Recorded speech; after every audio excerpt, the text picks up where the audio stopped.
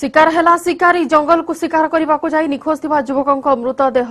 বর্তমান পুলিশ ঠাব করা চেষ্টা করুছি মৃত যুবক অনুগুল বন্তলা থানা অন্তর্গত মধুপুর গাঁর দুষ্মন্ত সাহু বলে জনাপড়ি চারিদিন তলে দুষ্মন্তর তাঁর কিছু সহযোগী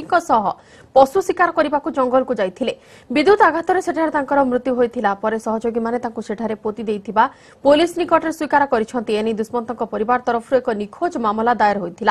ପୋଲିସ ଖୋଳତାଡ଼ ପରେ ଏକଥା ସାମ୍ନାକୁ ଆସିଛି ପୋଲିସ ଏଯାଏ ମୃତଦେହ ଉଦ୍ଧାର କରିପାରି ନାହିଁ ଆଜି ମାଟି ଖୋଳି ମୃତଦେହ ଉଦ୍ଧାର କରାଯିବ